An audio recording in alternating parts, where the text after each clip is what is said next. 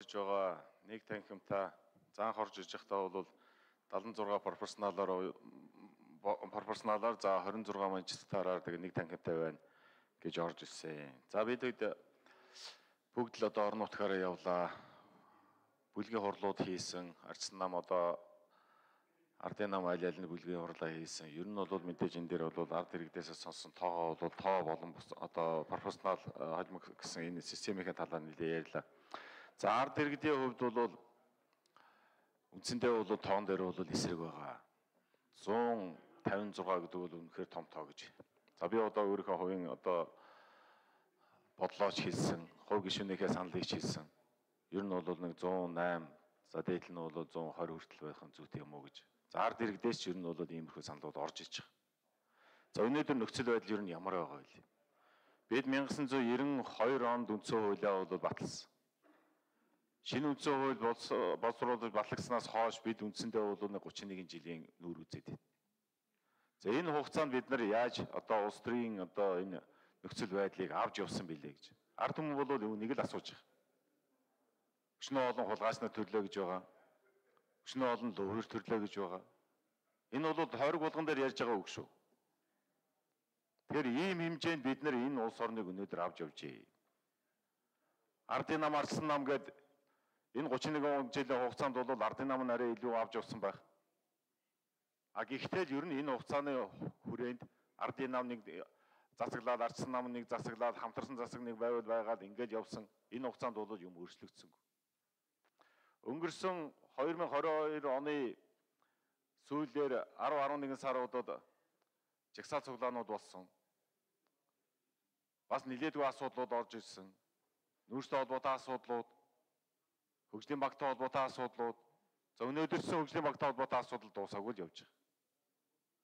Энэ болгон дээр ард түмний дургуйцэл, ард түмний игдүүцэл хүрээд байгаа шүү дээ. Тийм ч болохоор энэ одоо жагсаа цуглаанууд гарч ирж байгаа. Үндсэндээ энэ жагсаа цуглаа хийж байгаа залуучуудаа бас уулзаж үзсэн.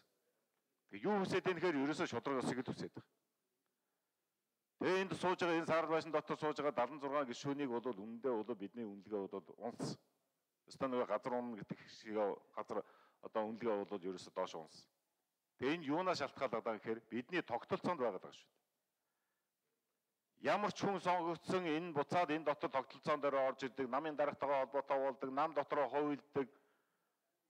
Нам цаашаа харж агаад бүгнөрөд одоо хувилдаа зохион байгуулж аливаа зүйл дээр одоо хууль бус зүйлүүдийг хийдэг Улаан нам байна уу, Сэнкэр нам байна уу, Ногоо нам байна уу, үл хамааран энэ тогтолцоо чинь өөрөө болохгүй байна гэдгийг энэ ард иргэн чинь бас хараад байгаа шүү дээ. Ямар ч хүн энэ намын босхийг одоо алхаад орж ирсэн сонгогдсон сонгогдоо сонгогдохгүй нь үдлээ гэхэд цаана сонгогдож байгаа нь бол буцаад энэ одоо муу муухай зүйлөө ингээд холбогддог ийм нөхцөл байдал бол орчоод байгаа шүү дээ бид нар. Энийг бол ард иргэч бүгдээр хэлж байгаа. Ирж байгаа хүмүүс нь сонгогдох гээд орж ирж байгаа хүмүүсийг нүдэ анжгаад хэн нэгний дугуулад гаргадаг явсан хойноо итгэл алддаг. Тэгэхээр ерөөсөө бид нар үндсэндээ бол энэ тогтолцоог бол өөрчлөхгүй бол болохгүй болчиход байгаа энэ тогтолцоо болчиход. Тэгэхээр ямар ч байсан ард иргэдтэй ярьж байхад энэ пропорционал буюу бидний ярьж байгаа холимог тогтолцоон дээр бол бас нэлээд итгэл үзүүлээд байгаа. Яагаад тэгэхээр энэ холбоо тогтолцоогоор нэгдүгээр энэ танхим дотор олон намын төлөөлөл бий болж ирнэ. Бидний хамгийн том зүйл бол арчил шүү дээ. Арчлал, зөвшөлтсөл. Тэгэхээр намуудын том одоо нэлийн төлөөллүүд олон болж ирэхэд зөвшөлтсөл гэдэг зүйл ардсан одоо үндсэн зарчим дээр зөвшөлтсөл гэдэг зүйл бол нэлийн дэлгэрэх ёстой. Нэг намын дарангуулал гэж байхгүй болно. Нэг намын том одоо бүлэглэл гэсэн зүйлүүд байхгүй болно. Манай танаа эдгээр намын гихээргүй эн чин том хяналт бий болно. Энэ тагим дотор том хяналтууд болно.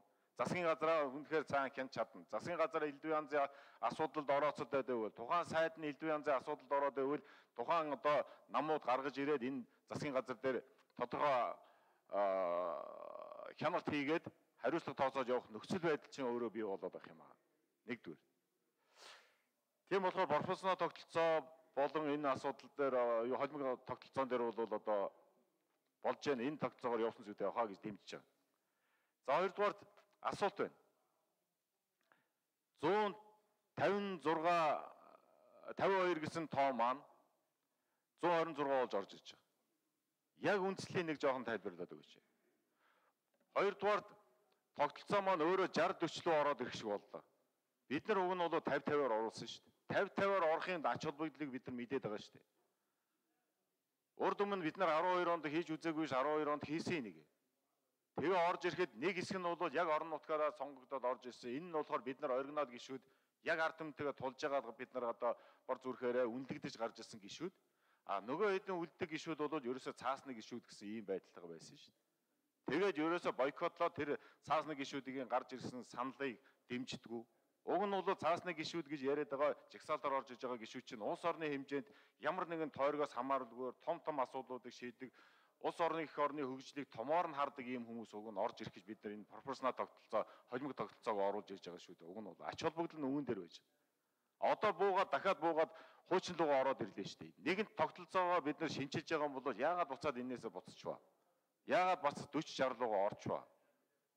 Би бол санахтаа бол ойлгохдоо энэ бол арчсан намын одоо санал гэж орж иж байгаа.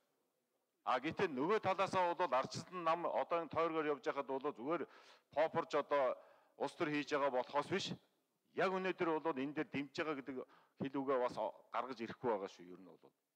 Тийм болохоор ардсан намын болон энэ намуудын зөвшөлтсөл ямар шүү хэмжээнд явсан юм бэ? Энэ тоон дээр яаж зөвшөлдсөн юм бэ гэдэг хоёрдугаар асуултыг бас танаас асууя. Өөрөөр хэлбэл 50 50 маань яагаад уцчихв? 40 60 руу яагаад орчив? Тэгээд энэ дээр намуудын ямар тогтолцоо, ямар одоо саналууд энд байгаа юм бэ гэсэн зүйл дээр хоёр асуулт. Тоо болон тогтолцооныхаа хувь дээр энэ хоёр асуулт асууя. Баярлалаа.